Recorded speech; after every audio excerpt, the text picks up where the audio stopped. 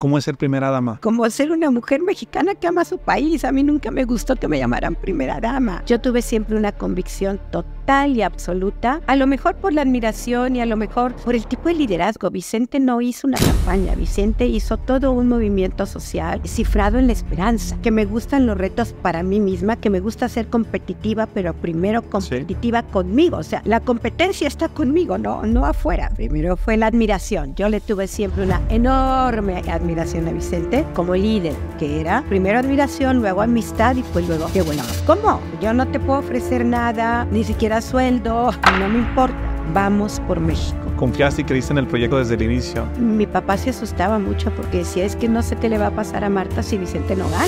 24/7, como bien lo decía ahorita Adela, no descansábamos. A veces había días que dormíamos dos horas, entonces no había redes. Había que estar pendiente a las 4 o 5 de la mañana a ver qué decían los medios de comunicación. Omar, ¿en qué momento ustedes sintieron ya ganamos, sí vamos a ganar? 15 días desde que fueran las elecciones, me llevan, ¿no? me dice Marta, ¿cómo van? Y le digo, mejor dime cómo vamos. Me dijo, van a ganar. Vicente y yo tuvimos siempre muy claro que eso que iniciaba tenía un término de fin. Por eso no quisimos ir a vivir a la Casa Grande. 2 de julio del 2001, fecha ahora sí emblemática, Vicente nació un 2 de julio, ganó la presidencia un 2 de julio y nos casamos un 2 de julio. No voy a hacer adorno de los pinos porque para eso no sirve. Voy a escribir mi propia historia, la mía, no la de Vicente Fox. No voy a caminar atrás de Vicente.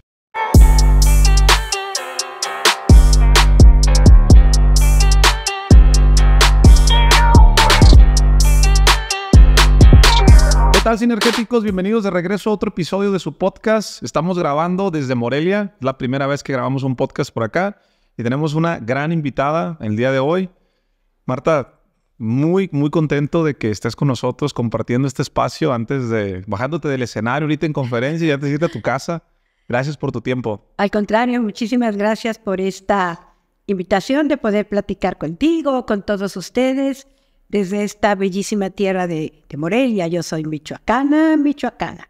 Yo crecí con uchepos y corundas, así es de que... Michoacana, michoacana. Michoacana, michoacana. Así es de que muy feliz de estar aquí y de poder platicar contigo, Jorge. Oye, Marta, fíjate, te lo digo con, mucho cariño y con mucho aprecio. Eh, a mí me gusta, antes de hacer una entrevista, eh, leer la descripción, eh, quién es, qué ha hecho. Yo, yo creo que tú no necesitas presentación, ¿no? Marta Sagún, Marta Sagún de Fox. Ahorita te veía en el escenario, el chiste es hay que creérsela. Te, te conozco de, tiempo, me ha tocado ver tu trayectoria, pero me gustaría, cuando tengo enfrente una persona como tú, es no, no leer yo la descripción ni qué es lo que has hecho, más bien tú cómo te describes. ¿Quién es Marta Sagún? Bueno, es una mujer luchadora, amorosa, le gustan los retos, que ha tenido miedos, que ha sabido llorar, que ha sabido reír, que ha sabido sufrir, que ha sabido levantarse. Es una mujer como todos los seres humanos que tengo corazón, que tengo alma, que tengo talento. Yo nací en Zamora, Michoacán, soy michoacana, michoacana, afortunadamente en una familia amorosa, en una familia bien formada. Mi padre médico que me dio unas enseñanzas importantísimas. La profesión del médico pues como yo le vi que él ejerciera, era prácticamente una, una misión casi de sacerdote en un pueblo pequeño como, como era Zamora, tú te has de imaginar, si ahorita es pequeño y bellísimo, entonces era bellísimo, pero más pequeño, ¿no? Sí. Entonces yo recuerdo muy bien, mi papá tenía dos anuncios en su consultorio. Eh, la, en la consulta del doctor cuesta cinco pesos, pero si usted no los tiene, yo de todo, el doctor de todos modos los va a atender. Sí. Y otra que decía, la consulta del doctor termina a las 2.20 y regresa a las cuatro porque, porque mi papá comía con nosotros, comía con la familia. Mi mamá, que tuvo diabetes desde muy, muy jovencita, yo comprendí de ella y a través de sus vivencias nos enseñó en el amor a la vida, la fortaleza, el cuidado de la salud, que es importantísimo, el foco en lo que quieres lograr y también el cuidado del alma, porque más allá de religiones y demás, esta parte del alma, esta parte de las emociones, esta parte de la espiritualidad, bueno, a mí se me infundió desde muy pequeñita. Mi papá y mamá em, les gustaba la igualdad, la equidad, nunca hubo diferencia entre hombres y mujeres, fuimos cuatro mujeres y dos hombres. Sí, yo me eduqué con monjas seguramente porque mis papás eligieron ese colegio por dar la continuidad a la educación que yo recibía en casa, fíjate qué curioso, mi papá tuvo 10 hermanos, cuatro sacerdotes, cuatro médicos y dos hermanas casadas con médicos primos hermanos. O sea, la verdad, y sin embargo mi papá era un hombre con una visión del mundo extraordinaria, de futuro, eh, nada apegado a paradigmas eh, meramente tradicionales. Entonces, ahí es la fuente, ahí es la fuente de la formación de mi carácter. Me considero una mujer fuerte, eh, con mucha fortaleza, una mujer que logra lo que quiere, que, me gustan los retos para mí misma, que me gusta ser competitiva, pero primero competitiva conmigo. O sea, la competencia está conmigo, no, no afuera. O sea, yo quiero ser mejor eh, hoy que ayer y mañana que hoy. Entonces te, te motiva a un permanente aprendizaje, estar buscando herramientas para poder crecer, sobre todo en la parte humana y obviamente me gusta estar preparándome en los tiempos actuales. Oye, Marta, ¿y qué estudiaste? ¿Cómo fue tu preparación? Ah, déjame decirte, yo estudié obviamente primaria, después estudié secundaria, después me fui a Irlanda a los 14 años. Allí estuve, me fui con mi hermana mayor, Beatriz, dos duramos juntas allá un año y luego yo me quedé un año más por sentir esta emoción de cuál era la emoción de estar sola en un lugar así. Y luego hice de nuevo preparatoria título de suficiencia porque yo me casé a los 17 años con el papá de mis hijos. Entonces, eh, yo terminé preparatoria y luego seguí estudiando en Celaya, Guanajuato, donde yo vivía, en el área de administración. Nunca me titulé, no me da ninguna vergüenza decirlo. Eh, realmente, en las circunstancias y el deseo propio de superación me ha hecho, pues, ser emprendedora, ser empresaria, aprender de ventas, tomé cursos de ventas, de administración, que fue mi carrera, eh, en mi carrera inicial, eh, de competitividad, del buen manejo del tiempo, de la eficiencia, de la eficacia. Con el papá de mis hijos tuvimos una empresa de veterinaria, la segunda más grande en la República Mexicana, entonces era me gusta el comercio, me gusta la relación con la gente, me encanta la gente, soy muy sociable, me inspiran, creo que creo firmemente en la amistad. Me parece que en la vida, bueno, pues tienes tu familia, que es importantísimo y es la base de tu formación, pero el tener amigos, el poder compartir sin por elección propia, los amigos nadie te los impone, ¿no? Yo viví en Celaya casi 30 años, ahí conservo muchísimas amigas que tienen un valor muy especial para mí por su lealtad, porque creyeron en mí, porque nunca se creyeron de tonterías y medias, porque me conocían, porque ahí formé a mi familia también. Entonces, eh, pues eso ha sido de alguna manera mi vida.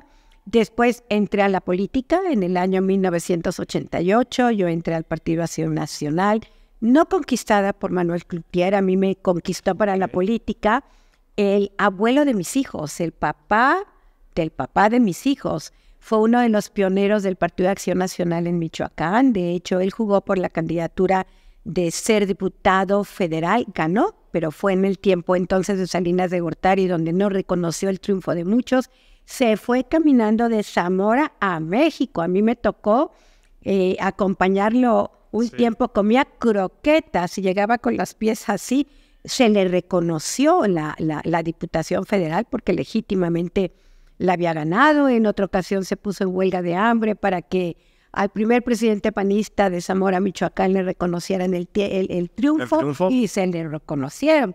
Entonces, yo aprendí de él esta congruencia, esta congruencia de, él era médico, un gran médico pediatra, pero un hombre sumamente congruente, que amaba su país, que creía en la democracia, que creía en la necesidad del cambio de entonces, entonces actuaba en consecuencia. Creo que eso es muy importante, ¿no? Vivir de acuerdo a lo que piensas, a lo que sientes y a lo que dices, que haya realmente congruencia en, tu propia vida. Entonces yo, por eso, eh, ingresé entonces al Partido Acción Nacional, donde también tuve oportunidad de prepararme muchísimo en política, la mujer en la política, capacidades de las mujeres en marketing político, eh, todo lo que había de cursos, diplomados, talleres en relación a política, porque además me ha gustado siempre estudiar, me ha gustado siempre aprender. Cuando yo no era la primera en, mi clase, me enojaba conmigo misma.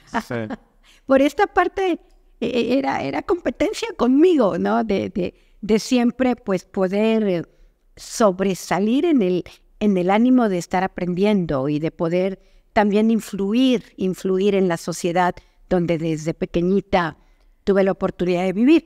Entonces ahí tuve también cargos de responsabilidad interna del partido, fui, eh, eh, estuve en la Dirección de Promoción Política de la Mujer en Guanajuato, estuve en el Consejo Estatal del PAN, estuve en el Consejo Nacional eh, del PAN y luego, bueno, pues se dieron las circunstancias también de en el año 91, cuando Vicente corrió la primera vez para diputado, perdón, para gobernador, que también, pues, los que recordamos aquella época, fue toda esta negativa también del entonces presidente Salinas de que él no sería gobernador y sucedió todo aquello con Ramón Aguirre, que en la historia lo dice, no lo digo yo, donde fue el primer gobernador panista Carlos Medina Plasencia, después él convocó a unas elecciones extraordinarias y ya mi marido ganó mi marido Vicente. Sí. Este, este, yo trabajé en esa campaña también intensamente, en esa campaña de, de Vicente, en la segunda,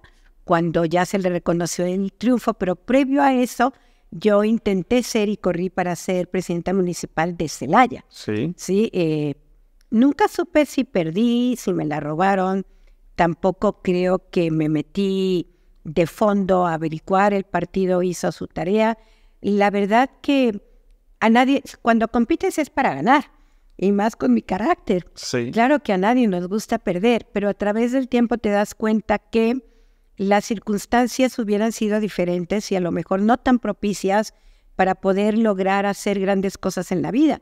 Curiosamente, si yo hubiera ganado la presidencia municipal y hubiera sido la presidenta municipal de Celaya, jamás hubiera ido a trabajar al gabinete de, de Vicente Fox, porque yo perdí, él ganó, me llamó a trabajar a su gobierno de Guanajuato como responsable de comunicación social y marketing, donde también me dio la responsabilidad de, de radio televisión de Guanajuato, donde, bueno, eh, me encargaba muchísimas cosas, cosas en el ámbito político y a mí la, y, la verdad yo creo que la política no es ni buena ni mala, la política es la política y son los políticos quienes son buenos o malos, las personas. ¿No? No la política por sí misma. Eh, entonces, eh, ya ahí, pues, em, empecé en esta nueva, en esta nueva actividad que no era para nada mi profesión, digo, absolutamente mi formación era en administración. Sí estaba formada en política, no estaba formada en comunicación ni en periodismo, absolutamente para nada. Yo cuando le pregunté a Vicente, ¿y ahora qué voy a hacer? Si acepto, yo no sé nada de esto. Dijo, sabes mucho más de lo que tú crees porque sabes hacer relaciones públicas, porque ya viviste una campaña a, la, presidenta a la presidencia municipal, porque ya trabajaste conmigo en la campaña y porque no eres periodista, porque no perteneces al medio. Justamente eso es lo que quiero de ti. Y sí, obviamente había que, pues, normar criterios, romper paradigmas, eh, tener una comunicación clara, llana, sincera, honesta, una relación con los medios de comunicación en el mismo, en el mismo sentido, una comunicación transparente, completa, honesta, de puertas abiertas. Y la verdad es que me enamoré de, de, de esa profesión. De, eh, creo que descubrí algo que dentro de mí no sabía, esta posibilidad de llevar bien una comunicación, de poder hacerme del mejor equipo de marketing y poder sacar adelante, no por mí, sino por el equipo. En realidad uno solo no llega ni a la esquina. Uno tiene que conocer, sí, sus fortalezas, pero también sus debilidades. Y si te están encargando un tipo de responsabilidad, cualquiera que este sea, hazte del mejor equipo y reconoce lo que tú no sabes hacer. Creo que eso me sucedió y por lo tanto pues hicimos una gran tarea, fuimos muy bien calificados, a nivel nacional tuvimos la mejor página de internet, entonces cuando apenas empezaban las páginas web y, demás, y pues luego ya empezó la otra historia, la, comunicación ah, para lograr la presidencia de la República, cuando el Vicente renunció. Cuando Vicente te invita a trabajar en una relación profesional, ahí no eran pareja todavía. No, para nada, no, no, no, totalmente profesional. No ¿Y cómo, para cómo fue la parte de dar ese primer paso? ¿Cómo, cómo se hicieron pareja? Ay, qué curioso. no, bueno, a ver, eh, Vicente, y, y los dos somos matrimonios reconstruidos. Vicente, Sí. desde el año, creo que 1990, él, él, bueno, este, eh, se separó y yo por circunstancias totalmente diferentes y por decisión propia, yo me separé desde el año 97. Sí. O sea, era cuando yo fui a trabajar con él en el 94. Fue absolutamente una relación profesional con, con una misma pasión, nuestro país, nuestro país. Sí. Nuestro país tenía que ser mejor, tenía que cambiar. Me acuerdo en el 97, justamente en la elección intermedia, Sí. yo voté en Celaya, donde vivía, y él votó en San Cristóbal. Y entonces a la hora que, que salió, que estaban los medios de comunicación de la casilla, le preguntaron y, es que, y, y que seguía y cómo veía la política. Y fue cuando por primera vez dijo, voy a ser presidente de la República, voy a buscar la candidatura.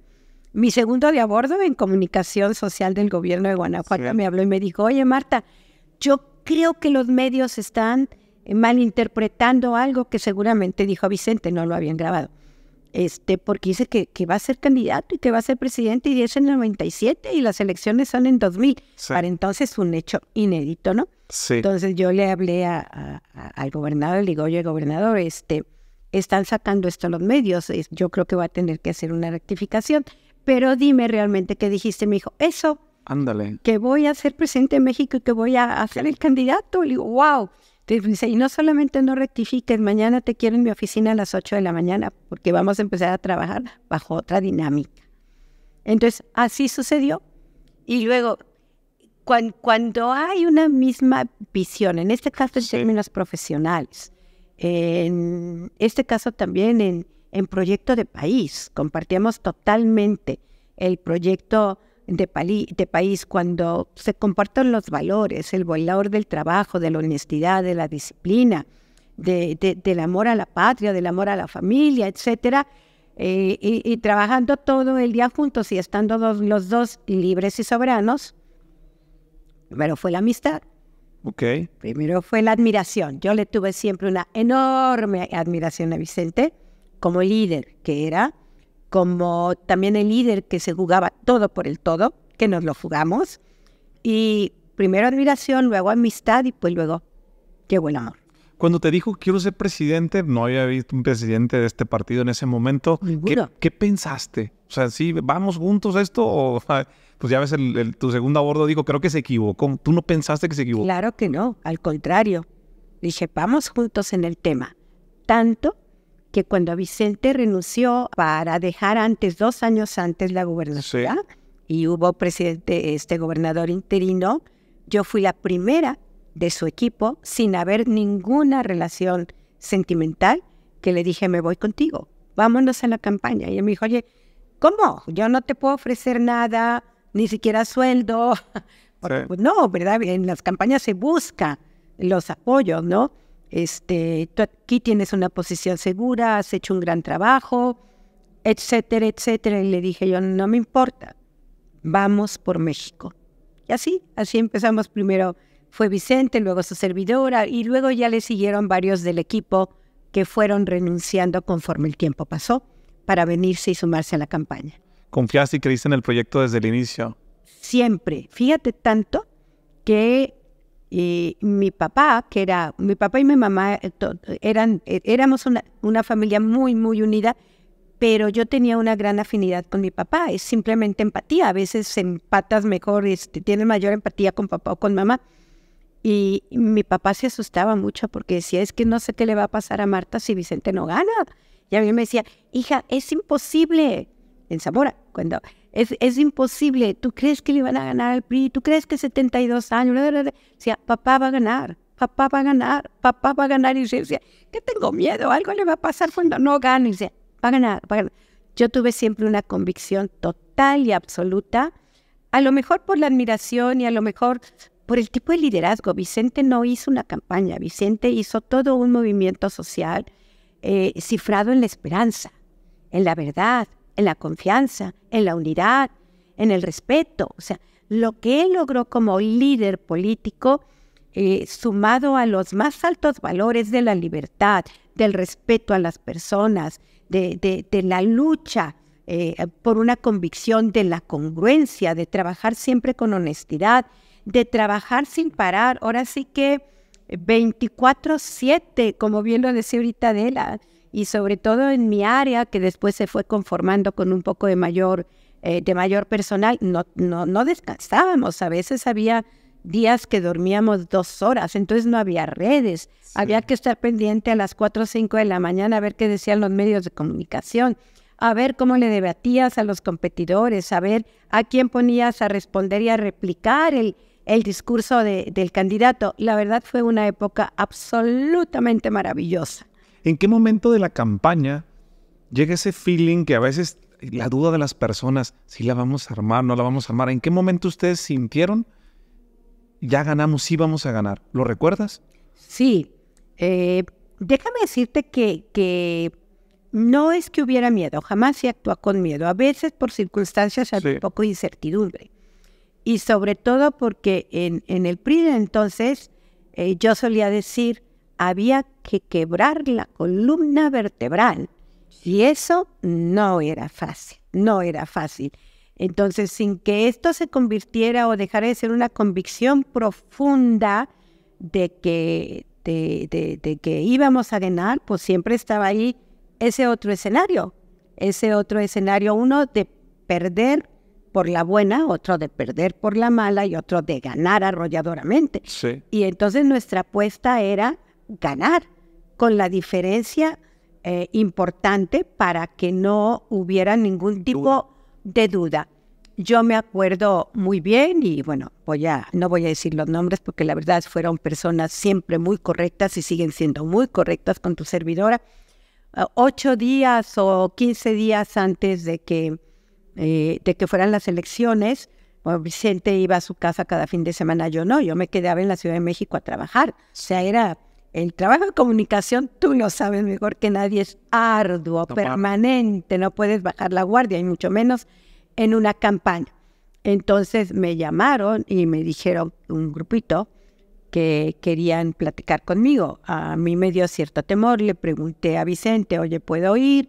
Este, sí, ve, o sea, ve, es gente buena, obviamente con otras convicciones, entonces me dijeron, oye Marta, ¿y ¿qué va a pasar si alguno de los candidatos gana solamente por un 2%? No va a pasar nada.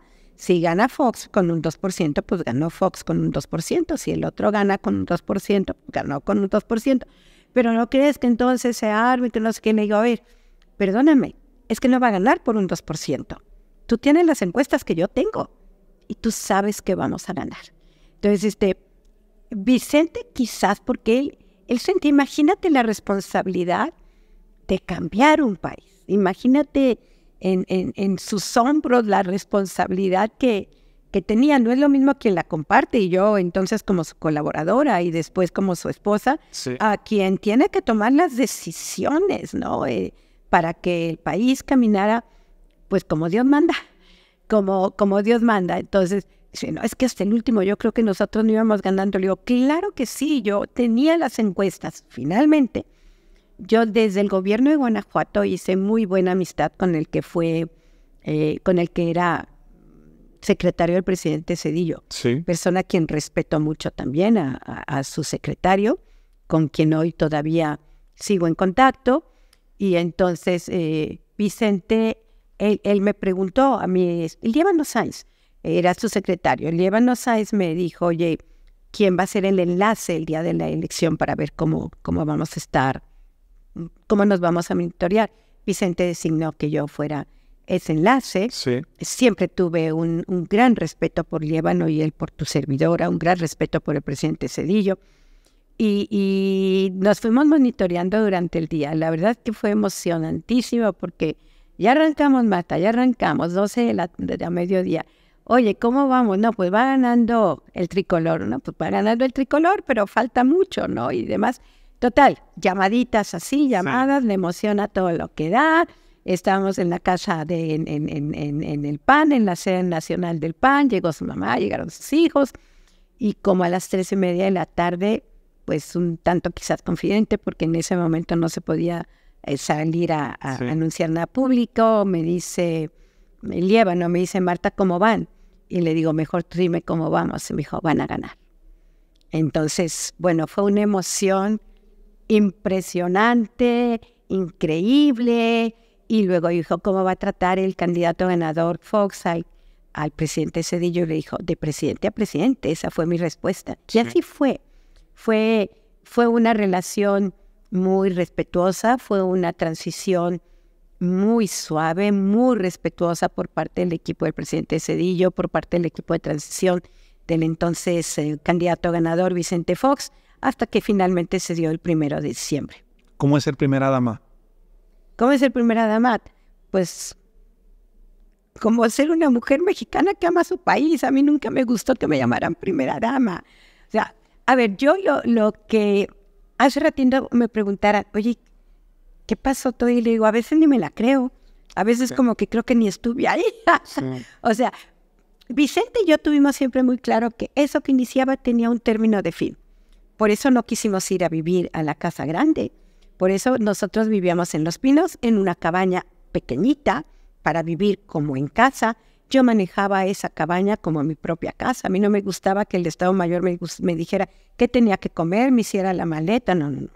Yo decía que íbamos a comer, yo arreglaba mi ropa, arreglaba la ropa de Vicente, como, como, como una familia normal. Es que al final, pues estás ahí por una gran oportunidad de la vida, porque luchaste por estar ahí para hacer el bien, pero pero no eres una persona diferente a los demás, al contrario, eres una persona que tienes mucho más compromiso de servir a los demás. Entonces, bueno, una vez que yo me casé con él y justo me acuerdo ahorita que veía a Adela Micha, que, que bueno, la verdad la quiero mucho, tengo Carlos Alarraqui, bueno, es que recuerdo, digo, ups, todo eso que fue de grande aprendizaje. Adela me hizo una entrevista al día siguiente que Vicente y yo nos casamos, 2 de julio del 2001, fecha, horas emblemática, Vicente nació un 2 de julio, ganó la presidencia un 2 de julio y nos casamos un 2 de julio. Entonces, al día siguiente me preguntaba eh, Adela, Marta, ¿y ahora qué? Y le digo, a ver, Adela, tres cosas, principalmente. No voy a hacer adorno de los pinos porque para eso no sirva. Voy a escribir mi propia historia, la mía, no la de Vicente Fox, sí. la mía, al lado de quien hoy es mi esposo, pero la mía. Y tercera, este, yo voy a, eh, voy a dedicarme a ayudar a los demás y a tener una agenda social propia, pero además no voy a caminar atrás de Vicente, voy a caminar a su lado. Y eso quería decir, no, un mensaje fuerte a las mujeres, no, seas esposa de quien seas, no tienes que ir atrás, tienes que ir al lado. Y Vicente siempre ha tenido un enorme respeto a las mujeres, enorme. Eh, ha reconocido siempre su igualdad. Eh, para mí, cuando yo inclusive podía no estar de acuerdo en algo, escuchaba mi voz, o sea, y yo quería también darle voz a esas mujeres que no tenían voz, o sea, aprovechar la oportunidad para lograr mensajes de que las mujeres somos capaces de tener una visión complementaria y necesaria, aún en el nivel más importante que es la presidencia de la República. Y luego dediqué, eh, fue cuando creé la, eh, se fundó la, la Asociación Vamos México, la en el año 2001, en septiembre, justamente para tener una agenda social de poder apoyar mucho más a los demás. ¿Cuánto tiempo crees que pase para que México, ahorita que estamos hablando del tema de la mujer, tenga una mujer presidente?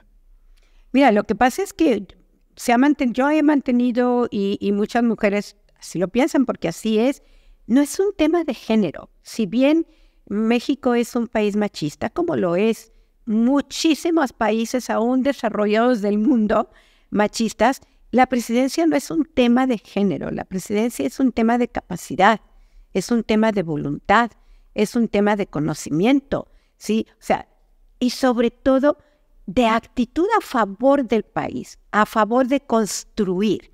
Entonces, cada quien que defina su perfil, cada quien que vea eh, las posibilidades en términos de femeninos que se tienen, pero hay muchísimas mujeres eh, capaces. E, en, resumen, la presidencia de la República no tiene que ser un tema de género.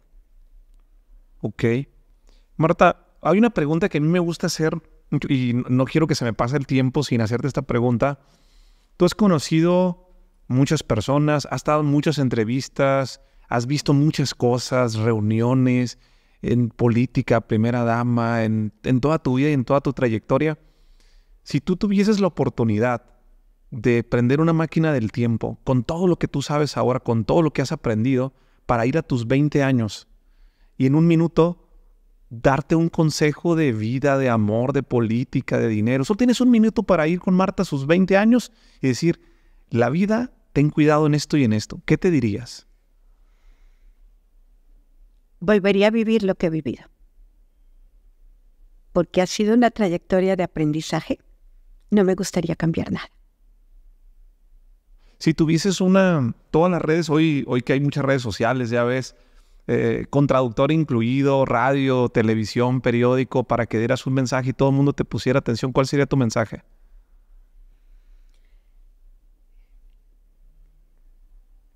que debemos ser un factor de esperanza de ánimo, de paz, de armonía. Que las mujeres tenemos esa capacidad de amar con locura, de pasión por lo que amamos, por lo que nos apostamos, por la misión de nuestra vida. Que nuestra, la vida es un proceso y nuestra actitud ante la vida es lo que hace la diferencia. ¿Qué actitud quieres? ¿Negativa o positiva? Es tu elección, es la elección de cada quien. Hay circunstancias que te pueden llevar a la depresión más grande. Hay situaciones de calumnias terribles y demás que te pueden casi volver loca. Pero si tu actitud es, vamos para adelante, no me doblan, estoy en lo correcto, tengo tranquilidad en mi conciencia, en mi paz interior, no hay nada que temer. ¿Cómo trabajas la paz interior y la conciencia? Bueno, la conciencia no es que la trabajes, la, la conciencia la tienes la tienes o no la tienes. O sea, tu conciencia no puede mentirte. Tú sabes cuando mi regla ha sido siempre en la vida, enseñanza de mis padres, pero en particular durante la presidencia, en particular donde eh, de alguna manera, y nunca me sentí víctima, pero donde fui terriblemente calumniada, decía, a ver, si yo me puedo ir a la cama tranquila, mi conciencia está bien, mi conciencia está tranquila, ¿sí? porque mi criterio es nunca le, le hagas daño a nadie de manera consciente. Puedes hacerle daño a alguien inconscientemente porque te equivocaste en decir algo, porque tuviste una actitud que no fue de todo el positiva, pero inconscientemente. nunca le hagas daño a nadie, ni le faltas el respeto a nadie ni a su dignidad de manera consciente. Eso te hace tener conciencia en paz y tranquila y te puedes ir a la cama tranquilo a dormir.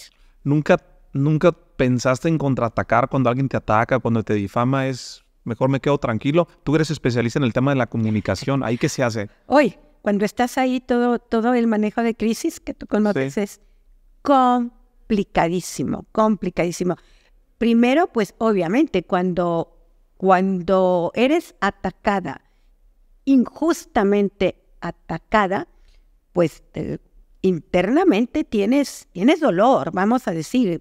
Yo lo que sentía era un terrible dolor. Entonces, por un lado es la parte espiritual, por eso es que hay que cuidar el alma, la parte espiritual. Por el otro lado, enfócate, enfócate en lo que quieres lograr. Para mí lo importante era mi trabajo, mi agenda social y cuida tu salud. O sea, cuida tu salud del cuerpo y del alma. Cuida tu salud, enfócate en lo que quieres lograr y cuida tu espíritu. Si logras esas tres cosas con herramientas diversas, que a veces no es nada fácil, ya, estás del otro lado. Yo tenía muchas ganas de platicar contigo. Yo te conocí en persona. Hace poco tuve una conferencia en Guanajuato, voluntarios del DIF. Ahí estuve. Estabas ahí. Eh, y me bueno, tú tienes una vida ejemplar. ¿Qué me dices a mí? Y ahí estuve platicando un poco, un poco de mi vida y mi testimonio, pero cuando tú estabas en primera fila, yo dije, yo un día quisiera entrevistarte porque Sabes que la esencia de este podcast y del movimiento sinergético es el 1 más 1 es igual a 3, es hacer sinergia. Y yo, sin saber mucho y toda la historia que hoy me estás platicando, yo dije, este señor llegó a ser presidente por la sinergia que hicieron. Entonces, y lo he llegado a platicar en algunos temas, ¿eh? O sea, yo, yo realmente no hablo mucho de política y no sé de política, es la realidad de las cosas, pero las historias de sinergia, las historias de cooperación, de ayuda mutua, me, me, me pones la piel chelita, me daban ganas de llorar mientras, porque eso yo me lo imaginé, dije, se tuvieron que haber complementado. O sea, no atrás, no, te lo dices de lado. De lado. ¿Qué significa para ti eh, la sinergia, uno más uno es igual a tres, el trabajo en equipo? ¿Cómo lo vives? Sumar, nunca restar. Eh, eh, puedes, puedes a veces no estar de acuerdo, pero siempre respetar ninguna persona somos iguales, nadie, no hay dos personas en, el mundo iguales, entonces puede haber cosas que no te gusten, pero eh, hay que respetar las actitudes y decisiones del otro y tampoco lastimarte por lo que no te guste, o sea, eh, yo les decía, estoy en el piso 7. este, el aprendizaje se lleva, ¿no? Hay que trabajar mucho, hay que trabajar mucho interiormente porque de repente pues resbalas. Yo de, la filosofía oriental y de los lamas siete veces caes, siete veces te levantas. Sí. Ese es, es, algo muy importante. Y lo otro, no permitas que el otro te lastime. O sea, no dejes que el otro te lastime porque entonces deja que manda, dejas que mande dentro de ti. Y entonces tú ya no tienes el control de tu vida, lo tiene el otro.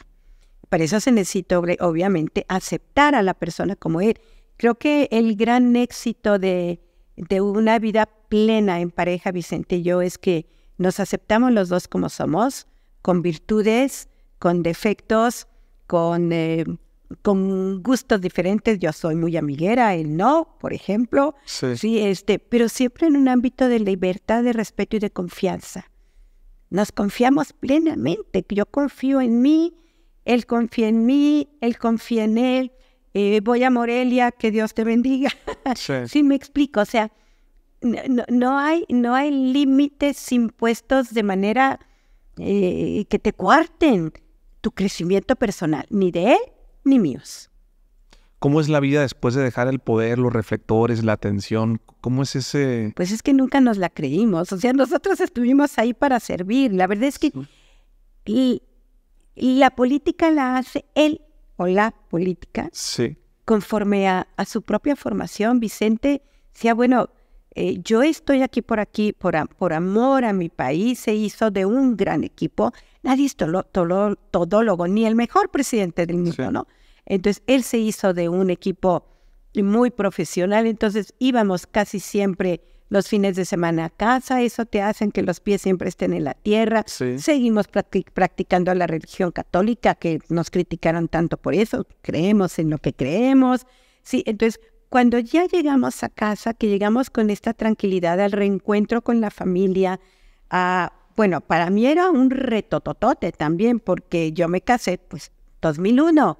Sin embargo, nunca había vivido en el rancho con él. O sea, yo llegaba a su casa que había construido desde hacía 40 años, este, a un ambiente totalmente diferente en términos de amistades. Yo no tenía más que unas cuantas amigas en León que hoy, por ejemplo, Pili Muñoz, que la adoro, ella es mi amiga desde que yo viví en Celaya y varias personas más. O sea, para mí era conocer algo diferente. También pues eh, había un poco de incertidumbre, igual dentro de su propia familia. Bueno, y finalmente, ¿quién es Marta? ¿No? Aunque seguramente se informaron y sabían que era gente buena y decente, pero pues, ¿quién es Marta? ¿No? Entonces, sí era un reto importante para mí, un reto que en una población de 2.500 habitantes, que es donde tienen su casa en San Cristóbal, pues también yo era una perfecta extraña, aunque me veían ir con él cuando íbamos durante los fines de semana. Entonces, para mí era como emocionante, como que pues ahora estoy aquí. Lo más padre fue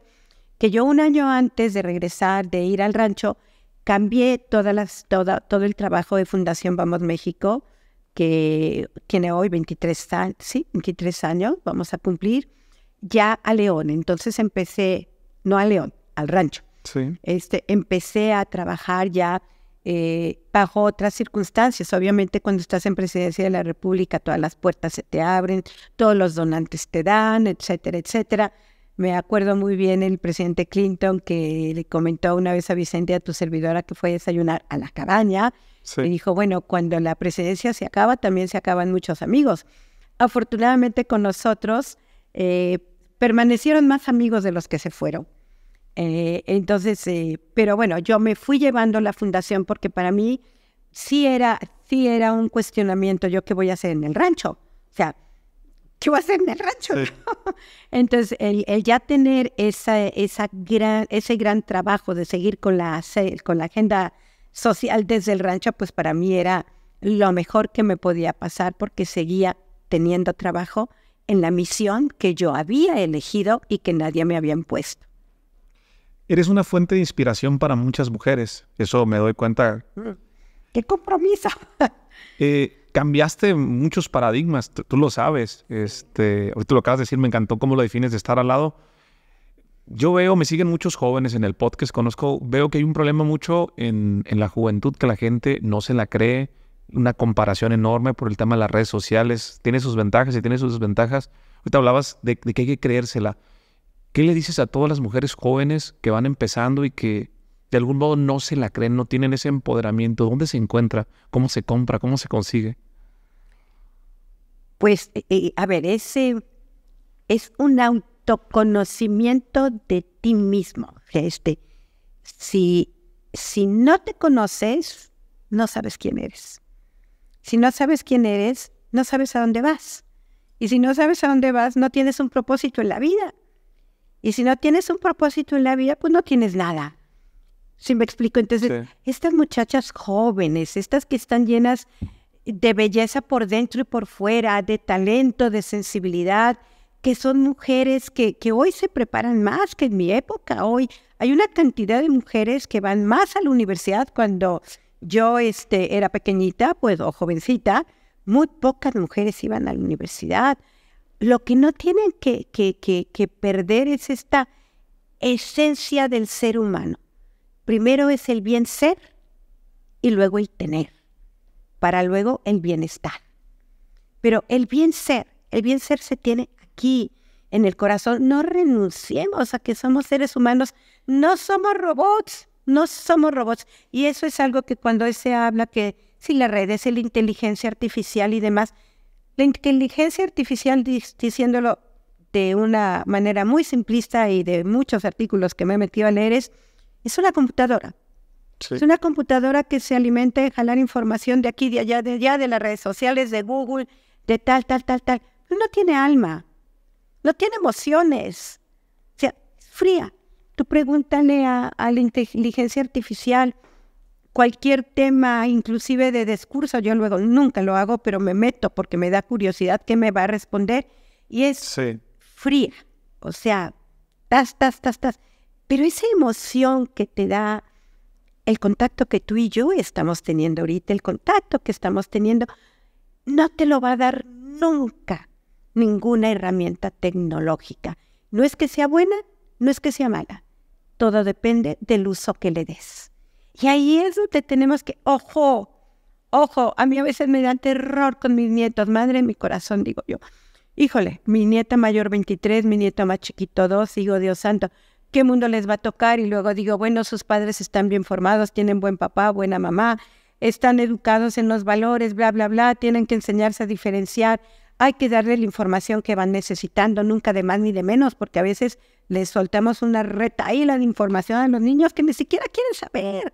¿Sí me explico? Entonces, es un mundo muy retador, quién sabe si más complicado que antes, y vendrá mucho más complicado, pero, pero creo que todo es la forma como lo veamos, nos comportemos, la actitud que tengamos hasta ello. Entonces, mujeres jóvenes, de verdad, de verdad, créansela lo que valen.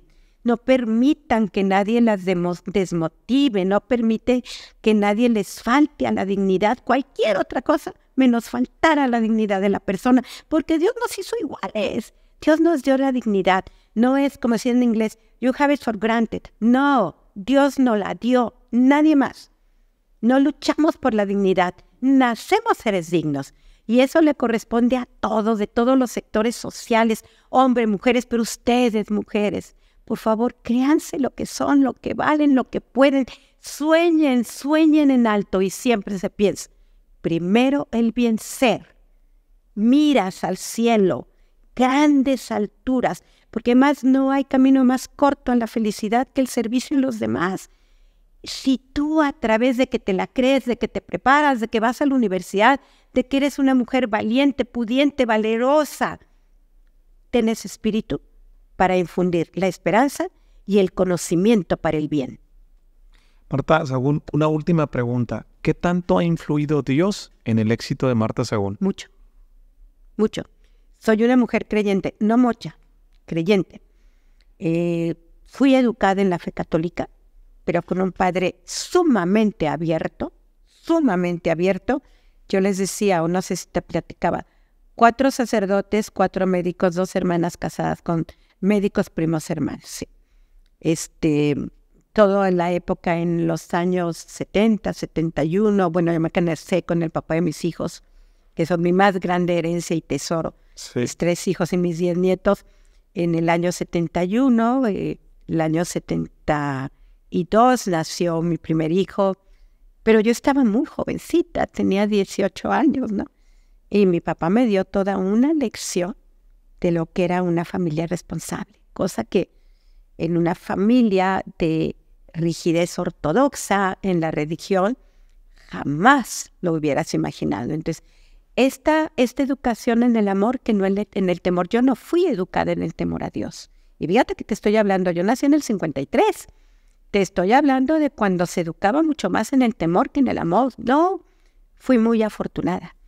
Entonces, este, yo creo en el amor de Dios, sí creo en la misericordia divina, sí creo en la parte espiritual, respeto a todas las religiones y creencias absolutamente por igual, porque ahí tienes que respetar la libertad total de elección de lo que quieran, sí, pero creo que hay un ser supremo, como le quieras llamar, sí. como le porque si no, como que sería triste, ¿no? Y luego en momentos de alegría, gracias, Dios mío, ¿no? en en momentos de tristeza, Dios mío, por favor, o sea, algo donde, donde pescarte, para mí es importante. Y donde me pesco, primero y antes que nada es en Dios. Amén. Amén. Te agradezco mucho tu tiempo. La verdad, este, disfruté mucho platicar contigo. que tengas, que tengas buen viaje, que no se te haga tarde. se nos ah. fue una hora. ¡Qué padre! Muchísimas gracias, ¿eh? Muchas gracias. Uno más uno, tres. A sumar. Sumar. Eso, gracias. Eh, que, me gustan los retos para mí misma, que me gusta ser competitiva, pero primero competitiva conmigo. O sea, la competencia está conmigo, no, no afuera. O sea, yo quiero ser mejor eh, hoy que ayer y mañana que hoy. Entonces, eh, te, te motiva un permanente aprendizaje estar buscando herramientas para poder crecer, sobre todo en la parte